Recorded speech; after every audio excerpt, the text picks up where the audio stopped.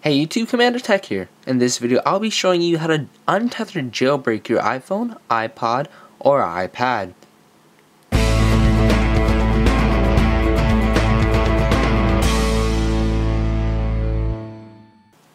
This untethered jailbreak will work on all A4 processor devices, so the iPhone 4, the iPod Touch 4th generation, as well as the 5th generation, if you really want to call it a 5th generation, and finally the iPad 1st generation.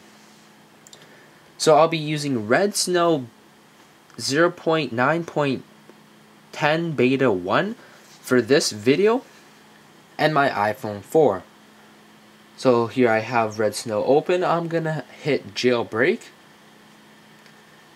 And now I'll basically tell you to plug in your device to your computer, then turn it off. So I'm gonna do that now.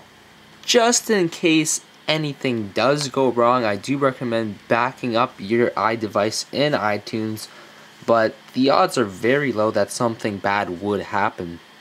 So now my iPhone is off. Now I'm going to put it in DFU mode. So if you don't know how to put your iDevice into DFU mode, uh, the program will tell you itself. As well, you can always look online.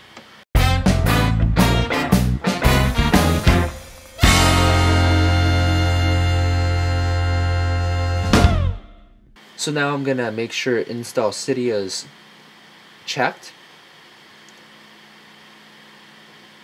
Then I'm going to hit next. And this is it. Now I'll be installing Cydia as well as jailbreaking my device. Now this will happen onto your iPhone. Uh, this is pretty standard jailbreak stuff. Uh, don't get scared.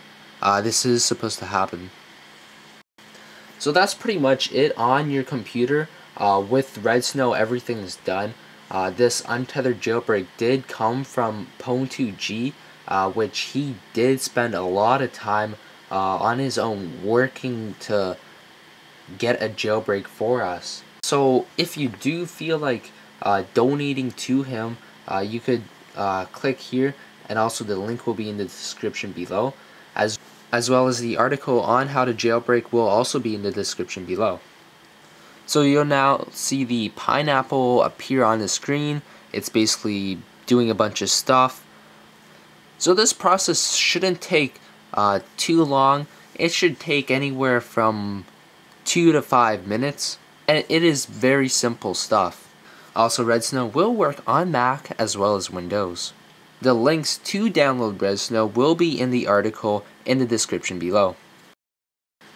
So here's Cydia right here. I'm just going to click Cydia and you can see that I am now jailbroken. And this is an untethered jailbreak so you'll be able to turn on and off your iDevice. Also just for you to know that you will need to have iOS 5.0.1. So if you got iOS 5 at the moment, go ahead and update to iOS 5.0.1 and you'll be able to do this jailbreak. So that is how to jailbreak your iDevice on iOS 5.0.1.